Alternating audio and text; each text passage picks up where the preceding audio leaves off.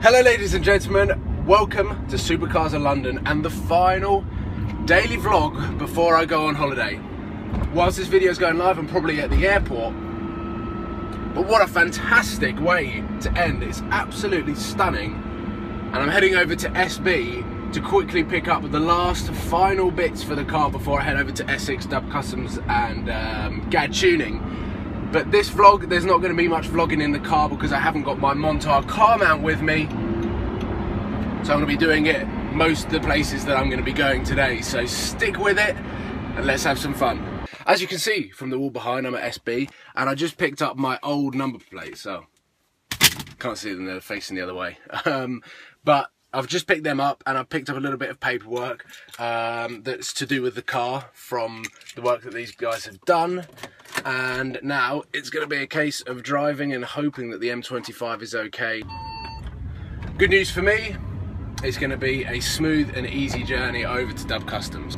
In the space of an, being up less than an hour, the temperature's risen about 10 degrees, it's now 22 degrees, it's getting hot and I'm starting to feel really tired.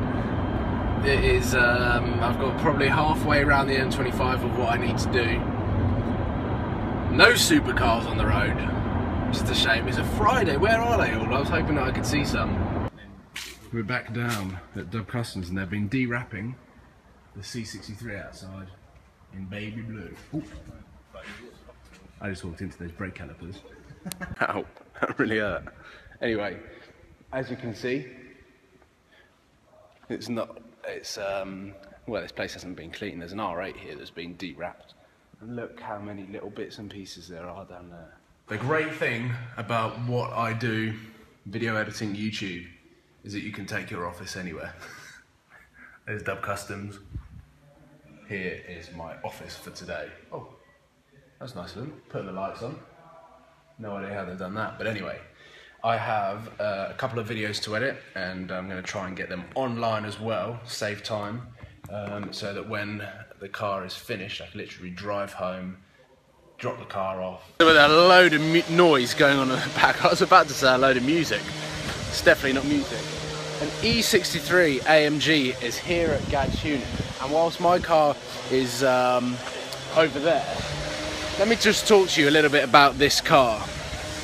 I don't even know how much power it has stock, but anyway, on Monday, the gearbox is coming out and getting sent to America to be uprated so that it can deal with 1400 newton meters of torque.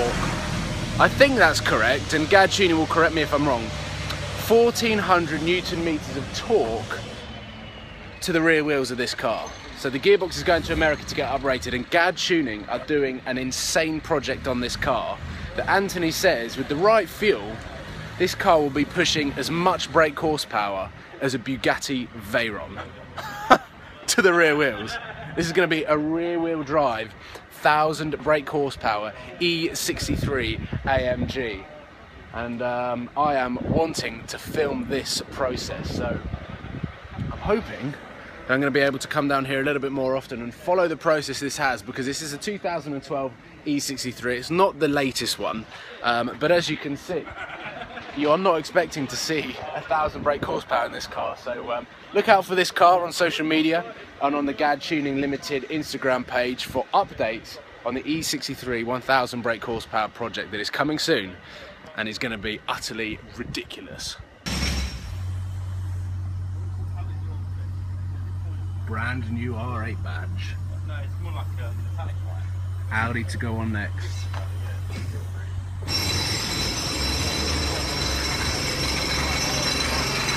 So I'm leaving, I'm leaving Essex and heading back to SB Race Engineering. And I, well, before I was filming this, I was like, oh, do you know what? I'm, I'm going to tease the viewers and not show the exterior of the car with the badges and everything like that. I'm going to take it back to SB, clean it, and then take some pictures and put it on Instagram and dedicate the today to um, this car, as this is the last day that I'm going to spend with it. And I thought, it's so easy for you to just skip a couple of minutes in the daily vlog to see the outside of the car. So uh, yeah, if you feel like skipping and having a look what it looks like on the outside, feel free to do so. I'm not going to vlog on the way home. I'm just going to head to SB straight away, clean, and then get some pictures up onto Instagram. And then I'm heading home and then editing for the rest of the day. 24 degrees outside. 24 degrees outside. I'm not I'm not able to get out in the sun, which isn't a bad thing because I know that for the next week or so on holiday I'm going to be able to chill out. Oh, and I cannot wait. I just cannot wait. But it's time to head home now, so I'll catch up at SB. For SB. Here's the badges. Chrome badge on the front, and then around the back. I'm so tired, guys. So tired. The R and the 8. I've got about 10 minutes into editing and I'm too hungry. I can't think of anything other but food and the only quick option I have is a McDonald's. So frustrating I don't have my Montar car mount to put up there and I can just order and vlog that which is, yeah, it's just annoying really. So I'm gonna head to McDonald's, I'm gonna grab some food, some really quick and easy food and then head straight back to SB and continue editing a video which is called Facing My Fears, driving a convertible for the first time. Currently just waiting for my sandwich to get done. Ordered a McFlurry as well, but I'm not sure how long that will stay an ice cream. However, yeah, last ever McDonald's in this car. There's a last for a lot of things. Last of a fuel. Don't know, it's crazy. Crazy to think. So I've changed office and now I'm having lunch. Not ideal having a McDonald's the day before I go on holiday, but it's probably too late now and the aircon's on the aircon just has turned on, so it means that I'm going to be filled up, my belly's going to be full, and I'm also going to be at a relative temperature as well, so I can get cracking on this video. And uh, then probably head home, get packing for tomorrow, which right now, as you're watching this, I'm probably either at the airport or on a plane, so yeah, I'm packing late, last minute packing. Let me know whether you last minute pack as well, whether you wait to right to the last minute, like 10 minutes before you have to leave, and then pack or do you, uh, or are you planned? Are you making sure that you're all organised before so that you don't forget anything? Let me know how you pack for your holidays, or let me know whether you're going on holiday and where you're going as well. Leave a comment in the comment box below as well, and I'll be able to check that out whilst I'm in Portugal. This could be the last time my car is at SB Race Engineering, and it's telling me that I, it is 26.5 degrees outside. Very warm, black leather doesn't usually help. Ladies and gentlemen, it is my final ever journey.